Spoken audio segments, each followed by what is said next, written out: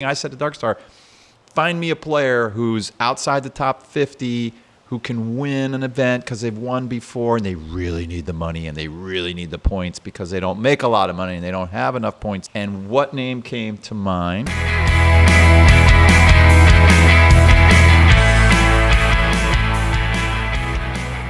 Darkstar RBC Heritage Betting Breakdown. Here we are on Tuesday, running into the Heritage that starts in two days, Pro Am tomorrow.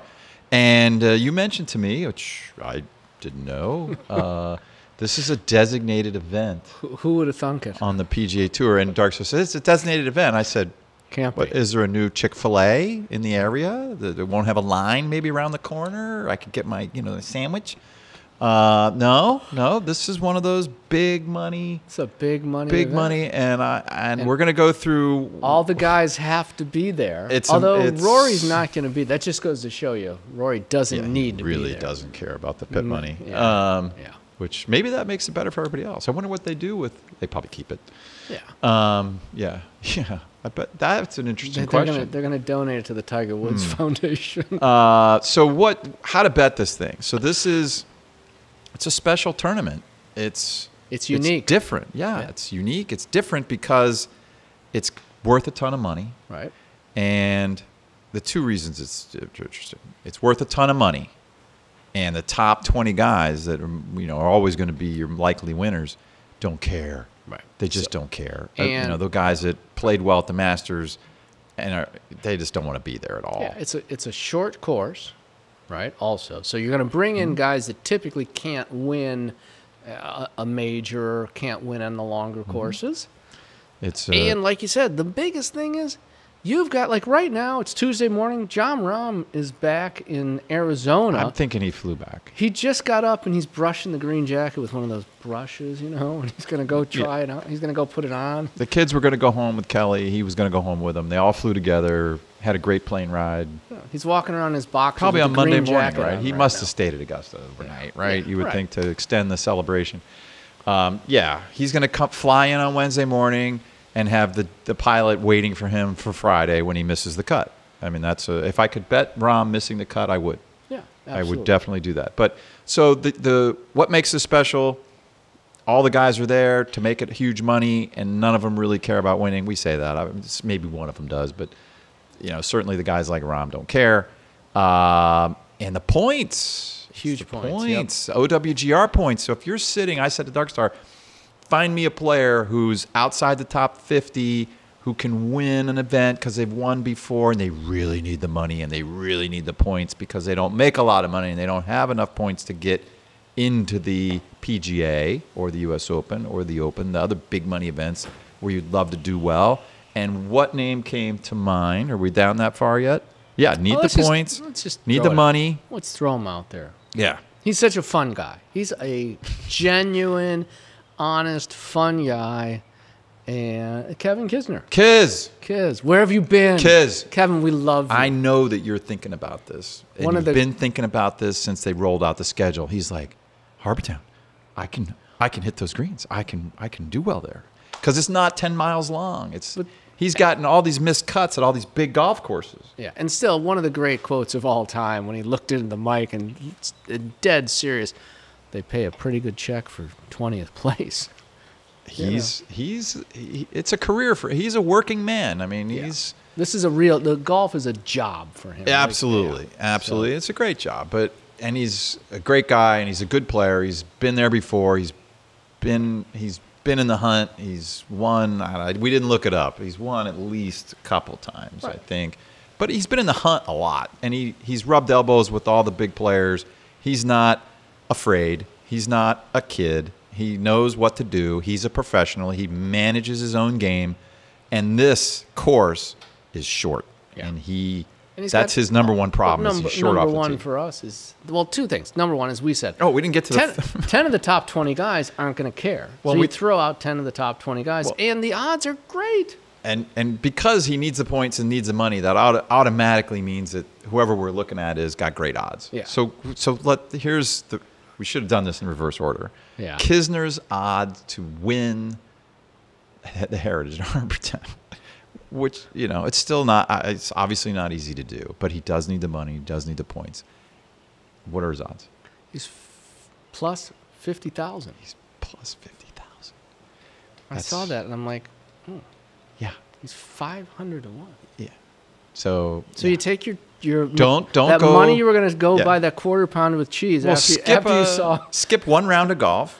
You Oh, know, jeez. don't pay the hundred dollar cart fee and fee if you're playing a, Oh. a public track, or if you're at a pub a private track. You know, skip the cart fee and lunch.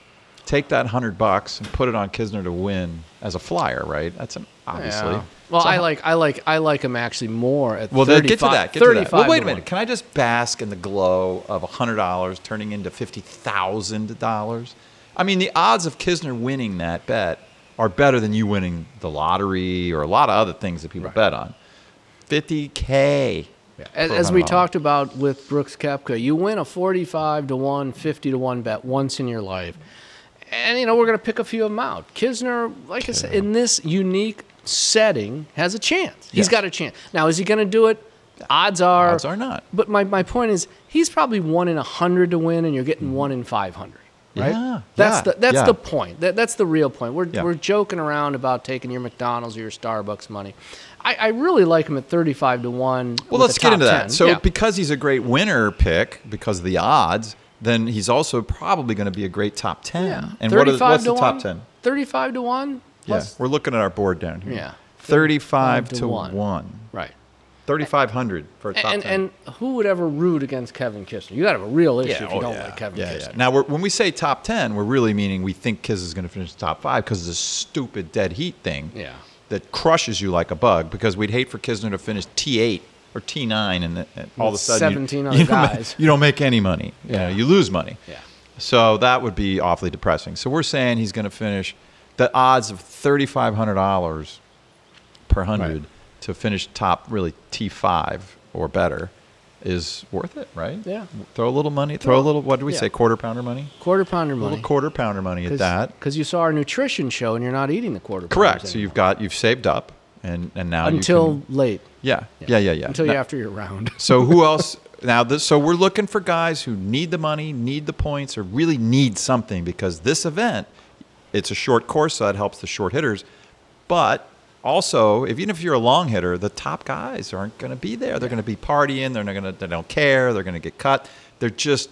They're just not going to perform for the most part. With some section, maybe a Cantlay performs because he's a steady worker. Um, who else do you like? I like this next name on the list.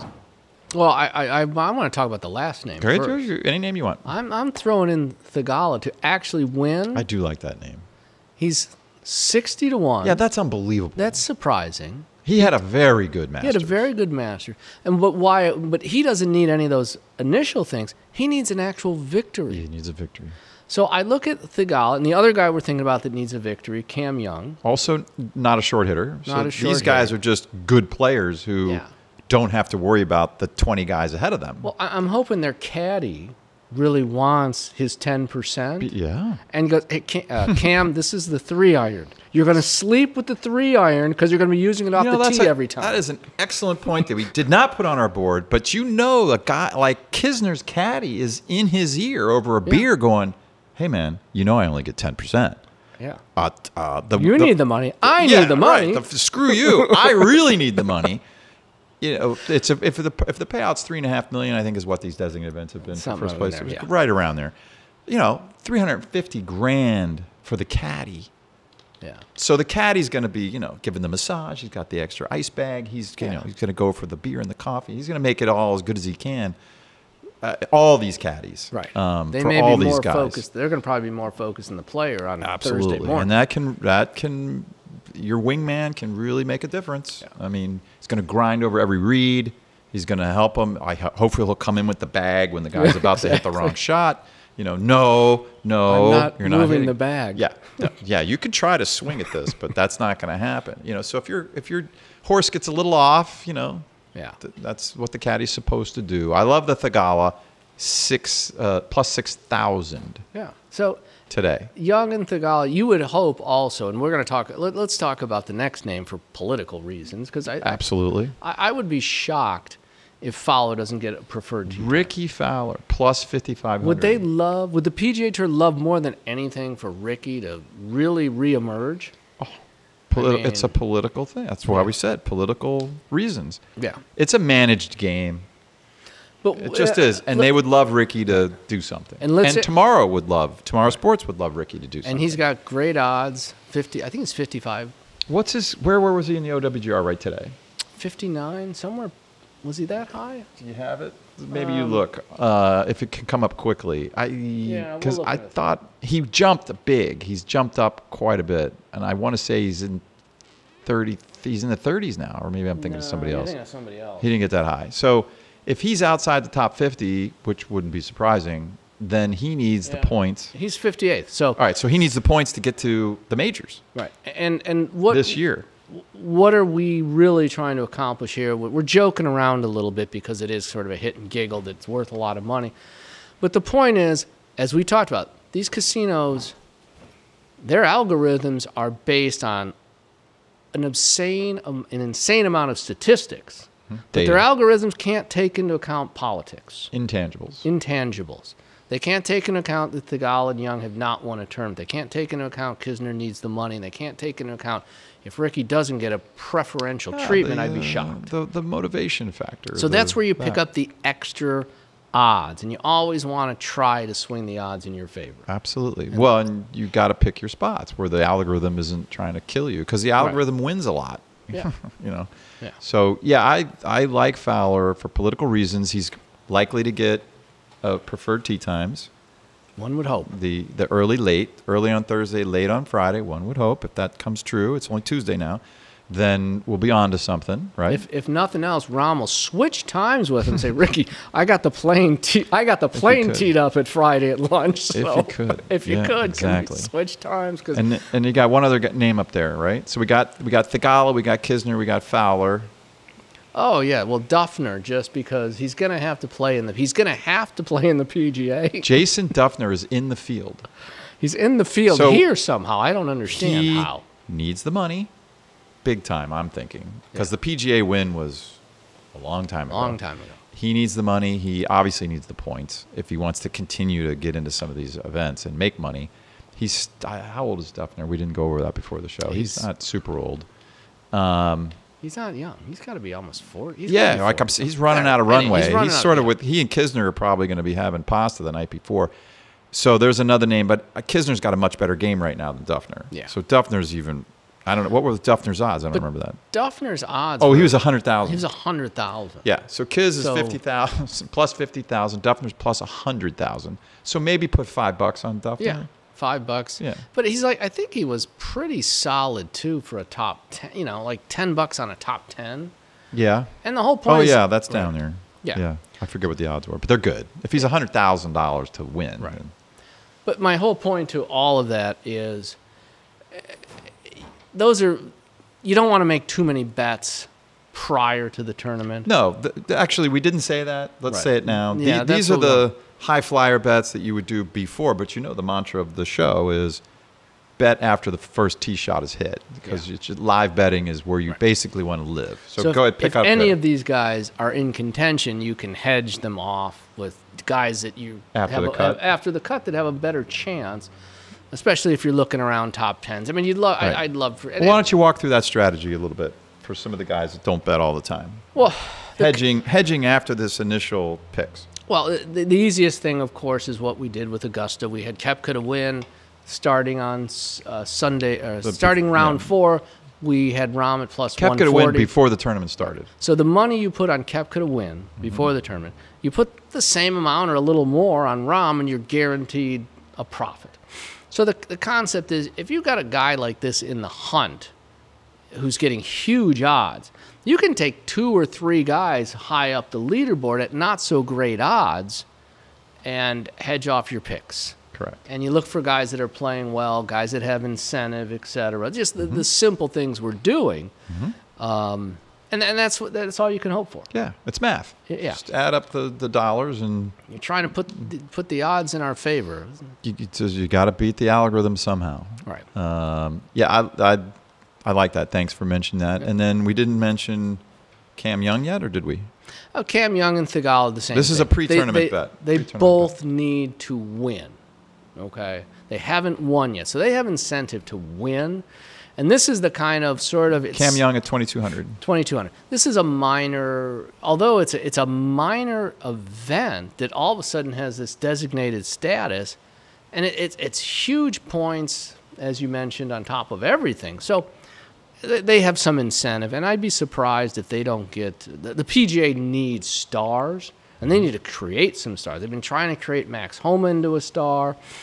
Um, they would love Cam Young because they love to hit the ball. You know, they love the guys that can hit the ball forever. Mm-hmm. Theegala checks all the boxes also. So I, I think they would. Yeah. A Theegala win would be very popular down in Ponte Vedra. Yeah, I think absolutely. Seems like a very nice guy too. I Yeah. might add. And and I mean, did we say he he had a good finish? I think we mentioned the man. He was minus five, top ten at Augusta, 10 at Augusta. in dicey conditions where you needed to have a complete game. Yeah. You had to be a grinder. You have to be obviously good putter, obviously a good chipper, obviously good across the bag to finish in the top ten there. yeah, I mean, how do you get how do you do that and be six thousand the next week? I- I- and he's a young guy. He could Yeah. go play twice before then Yeah, and still be exactly. fresh. I mean, he's doesn't he doesn't need the rest. Yeah, that's goofy. That's very goofy. But but the point is that before the tournament, all you can do is look at the intangibles to try to put the odds in your favor. Yeah. Because you can't beat the, the favorites, the Yeah. favorites are not. You're just never going to get the odds that you need to. No. almost never. So you got to look past that. Um, and this because it's a short track and uh, the top 20 we're saying don't care, which is you're just not going to find that when they go to Quail Hollow and they go to Memorial and they go to um, the thing up in Hartford, the Travelers. Yeah, the, the, the more of the top 20 are invested in those. The Hartford thing might be interesting too because that's after the U.S. Open, Right. before the Open. So that also might be. We'll get that one when the time comes. But all right, you want got anything else on that? You want to go to the last point? Um, no, go to the last point. There was something. well, we already mentioned it actually. Um, okay. We don't have to cover that. Okay, well, let's skip that. Um, there was one. Last point thing- was Rahm going home. Rahm will get cut probably. Yeah, we'd love to. Now he is such a good player. I, I, just- I can't imagine he'd want to be there over the weekend. well, I think it's almost like share the wealth Can too. you imagine he's sitting on the Masters trophy and he's talking to Kelly, the wife, at you know long distance. The kids are at home and he's stuck in Harbour Town. A tournament doesn't mean anything to him. I, I can't imagine why he'd want to do that. no, there's no. Even the caddy wants to go home. Probably Right. like John. Why, why are we here? John, This I is, this the is- Rahm's caddy's making more than most of the players Yeah. right now. he seems like a good guy too. Yeah. Interesting guy. Uh, all right. What else did you want to cover? Well, it's just impossible to beat the computer in the long run. So you got to give yourself the intangibles. We're going to reiterate that. But more importantly, think about Scotty Scheffler at plus 450, four and a half to one the night before the Masters. Is he going to win one in every? Yeah, that means he has to win one in every four Masters for you to break even on that bet. That's crazy. That's that- crazy. to That is a great about. way of looking at That's it. That's crazy. So that that to me is the way to look at it. Is Rahm going to win one in seven Masters? No, that's why he wasn't a good bet early in the week. Is Mm-hmm. Rory ever going to win one? Who knows? But th- that's the point. Remember, the odds used to always be like eighteen to one. Yeah. Uh, These odds Not have long come ago. down. Not long ago. long ago. Right? A year ago. A year ago, they were always eighteen to one. Now they're starting them at to seven win, to one to win. The winners, the favorite The to favorite win to was win, right. was plus eighteen hundred or plus fifteen hundred every week. Yeah. Now somehow they're plus four hundred. Uh, th- Which which what do you think? Why do you think that's happened? I I have a very clear vision of why that's happened. Because they're criminals. They're- no, the algorithms put they're just moving money around now. Right. S- I More understand. people have come into the betting circle yeah. because, because they're emphasizing it. The PGA Tour is all over betting. They've been watching the show. Well, they used to want to make eight percent, seven percent. Now they want to make twenty percent on uh, a tournament. I think it's more more uneducated money is coming into the pot, and they only bet on the players. They they're betting. Let's get real. They're betting ten dollars, twenty dollars on their favorite guy, Yeah. and they don't really care. It's just ah, I'm going to bet on him, and I can root for him even harder. Great. That's what's And- great for betting, and for the rest of us, that's going to screw up the odds on the favorites, and but make the odds on the other guys better. interesting. Yeah. Interesting.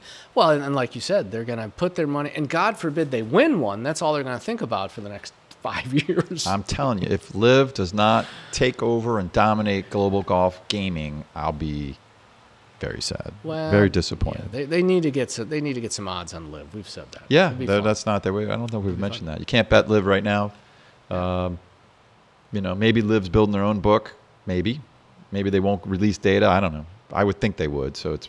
I don't know why that's happening. they're getting they're, they're getting What does Caesars give a rat rear end about betting on? They'd put money out there. Why not in the UK? Why not the betting places? Uh, you know, in Europe Yeah, or you- Hong Kong you- or Macau? Not Hong Kong, Macau. Now, yeah, and a conspiracy. Singapore. a conspiracy, a conspiracy, conspiracy theorist Conspiratorial? What are you trying to say? Conspiracy theory? Yeah.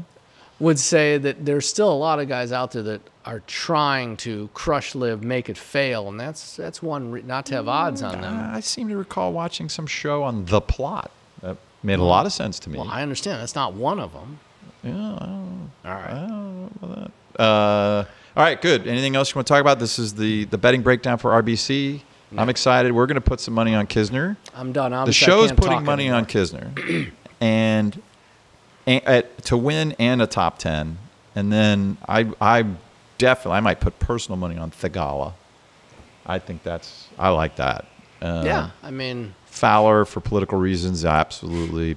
Uh, Cam Young, I yeah, I like that too. Those- obviously, you'd love to have Theegala and Cam Young be in a Brooks Koepka situation so you can hedge them off on Sunday, right? I mean, that's what you're looking for. You're looking to, for guaranteed profit. So. All right, we'll be back on this topic probably Saturday Saturday morning.